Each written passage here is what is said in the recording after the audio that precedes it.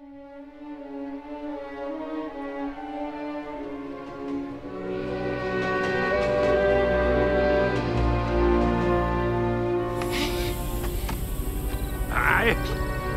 Morfar! Ja.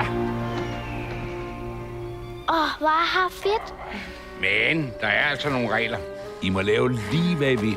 Men I skal Man skal blive inde i haven, for man kan fare vild i storskoven. nemlig... Jonathan, jeg kan ikke åbne døren. Ærgerligt, så er du nok nødt til at blive derinde. Jonathan!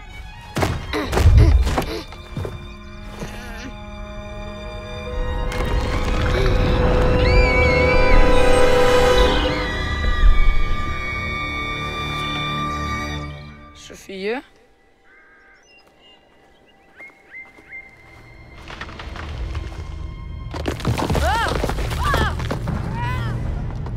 Hvem er du?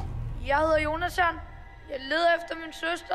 Skynd dig hjem. Storskoven er ikke et sted for børn.